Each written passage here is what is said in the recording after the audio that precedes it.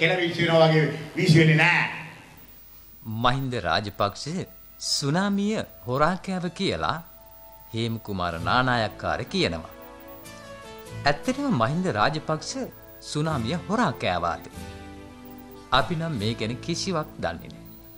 අපි එයාගින්ම ඒ ගැන ආම්. සමහරු කිව්වා රත්නසිරි වික්‍රමනායක මහත්තයා අපේක්ෂකයා විය යුතුයි කියලා. තවත් සමහරු කිව්වා අනුර බණ්ඩාරනායක මහත්තයා අපේක්ෂකයෙක් විය යුතුයි කියලා. තවත් සමහරු කිව්වා මහින්ද රාජපක්ෂ මහත්තයා අපේක්ෂකයා විය යුතුයි කියලා. සන්දානෙට අපේක්ෂකයෙක් නැතුව විලිලාලා විලිලාලා විලිලාලා වැදුවේ සුනාමිය හොරා කාලා රවුල පුච්චගත්තු මීපැටියෙක් කියන එක මම ප්‍රකාශ කරනවා කඩුවලදී. මිත්‍රවරුනි තමන්ගේ පලාතේ ජනතාව. අවුරුදු 70ක් පුරා රාජපක්ෂලට කමුරපු හම්බන්තොට රුහුණු ජනතාව මහා සුනාමියට යට වෙලා හේදිලා මූදුපත් වෙලා ජීවිත යට වෙනවා දැක්ක මහින්ද රාජපක්ෂ. මහින්ද රාජපක්ෂ මැතිතුමාගේ පපු කැනැත්තේ පෙන්ගතියක් තිබුණේම නැද්ද? වැඩියෙන්ම ආණ්ඩුවේ රෙදි අපුල්ලන කෙනෙක් තමයි කෙහෙලිය රඹුක්වැල්ල. බලමු මහින්ද රාජපක්ෂ ඔහු දකින්නේ මොනමගේද කියලා.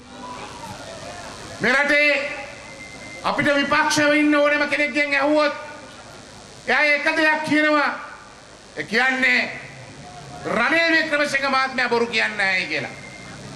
රනිල් වික්‍රමසිංහ මහත්මයා කරන්න බැරි දෙයක් කවදාවත් පොරොන්දු වෙන්නේ නැහැ කියන කතාව අපේ පාක්ෂිකයන් පමණක් නෙමේ විපක්ෂයේ ඉන්න ඕනෑම වැදගත් മന്ത്രിවරයෙක්ගෙන් පාක්ෂිකයෙක්ගෙන් ඇහුවොත් අපිට අහන්න ලැබෙන උත්තරය. ක්ෂණයක් තියෙනවා වැඩපිළිවෙලක් තියෙනවා මේ රටේ දුප්පත්කම නිමා කරවීමේ වැඩ වැඩපිළිවෙල ඉතිහාසය මොකක්ද මිත්‍රවරුනි? අවුරුදු 35 දේශපාලන ඉතිහාසයක් ගැන කතා කරන මහින්ද රාජපක්ෂ 1970 දේශපාලනයට ආපු මහින්ද රාජපක්ෂ දකුණ ජනතාවට දායාද කරේ මොකක්ද අද මේ ලංකාවේ දුප්පත්ම දිස්ත්‍රික්කය බවට පත් වෙලා තියෙන්නේ හම්බන්තොට දිස්ත්‍රික්කයයි මිත්‍රවරුනි. එහෙමනම් මහින්ද රාජපක්ෂගේ අවුරුදු 35ක දේශපාලන ඉතිහාසයේ හම්බන්තොට තමන්ගේ ජනතාවට දායාද කරපු දායාදය තමයි දුප්පත්කම කියන එක මේ රටේ ජනතාව දන්නවා.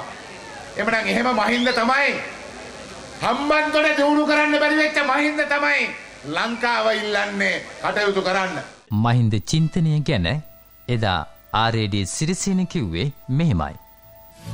එන පළමුුව බාටා දෙවනුව පාසලට කිය.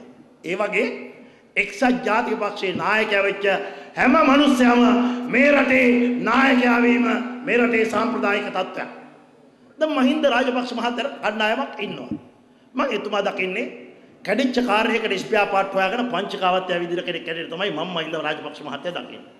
ලංකාවේ ප්‍රවීණ කලාකරුවෙක් තමයි රවින්ද රන්දනිය මැතිතුමා.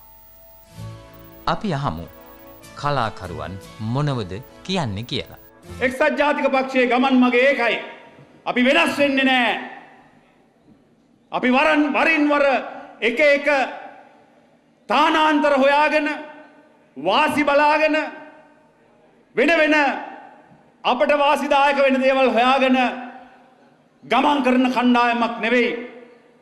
ඒ උදාහරණ අපි ලබාගන්නේ කොහෙන්ද? ඒ උදාහරණ අපි ලබාගන්නේ ඩීඑස් සේනානායක මහාමාන්‍ය ඩීඑස් සේනානායක මැතිතුමන්ගේ ඉඳලා. එතුමන්ගේ ඉඳලා පල්ලෙහාට අපි ඒක ලබාගන්නේ. ඩඩ්ලි සේනානායක මැතිතුන්ගෙන් ජෝන් කොතලාවල මැතිතුමාගෙන් ජේ.ආර් ජයවර්ධන මැතිතුමාගෙන් ආර් ප්‍රේමදාස මැතිතුමාගෙන් අද රනිල් වික්‍රමසිංහ මැතිතුමාගෙන්. මේක චින්තනයක් නෙමේ. චින්තනයක් කියන්නේ මොකද්ද? මහින්ද චින්තනයේ කිසිම තැනක සඳහන් වෙන්නේ නැහැ ඒක ප්‍රතිපත්ති ප්‍රකාශනයක් කියලා. මහින්ද චින්තනයේ කිසිම තැනක සඳහන් වෙන්නේ නැහැ ඒක මොන පක්ෂයේ ප්‍රතිපත්තියද කියලා. නිකම්ම සිතුවිලි මාලාවක්.